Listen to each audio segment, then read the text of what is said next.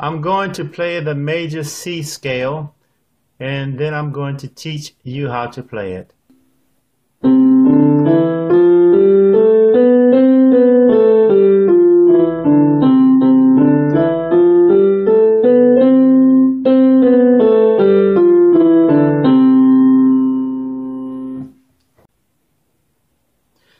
Okay, we're going to start off by giving the fingers to the hand some numbers. This is finger 1, 2, 3, 4, 5 of the left hand, and this is finger 1, 2, 3, 4, 5 of the right hand.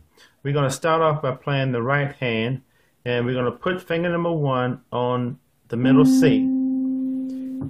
And here's how you play the uh, major C scale. It's going to go C, D, E. And you're going to take finger number 1, and you're going to tuck it under.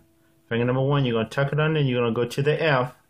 F, G, A, B, C. Again. C, D, E, tuck, F, G, A, B, C. And to come down, you're going to go C, B, A, G, F, cross over. To cross over the top with finger number three. To cross over the top. E, D, C again. C, B, A, G, F, crossover, three, two, one. So we're to do the same thing for, for, for uh, finger number, I mean for the uh, left hand. We're just going to go one octave down. So it would go like this. Start with finger number five on the C, one octave down for middle C. C, D, E, F, G. Gonna cross finger number three over.